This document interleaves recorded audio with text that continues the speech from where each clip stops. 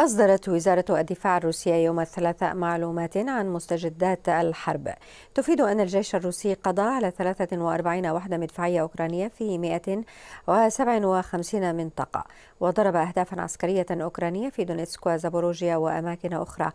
قال وزير الدفاع الروسي سيرجي شويغو في اليوم نفسه إن أكثر من 200 ألف شخص تم حشدهم في الجيش. وفي اليوم نفسه أعلن الجانب الأوكراني أن القوات المسلحة الأوكرانية استعادت أكثر من 1500 مستوطنة.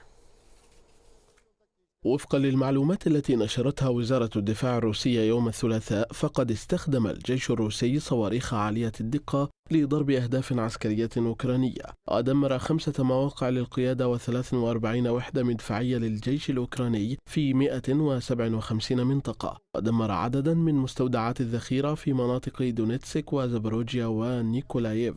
كما أباد الجيش الروسي المقاتلين الأوكرانيين والأسلحة والمعدات في اتجاه كوبيانسك وبلدة كراسني ليمان وليسيتشنسك واتجاهات أخرى. وفي اليوم نفسه قال وزير الدفاع الروسي سيرجي شويغو إن أكثر من 200 ألف شخص التحقوا بصفوف الجيش الروسي منذ إعلان الرئيس الروسي فلاديمير بوتين عن التعبئة الجزئية. وأن هؤلاء الأفراد سينفذون عمليات عسكرية خاصة مع القوات المشاركة في القتال بعد الانتهاء من التدريب.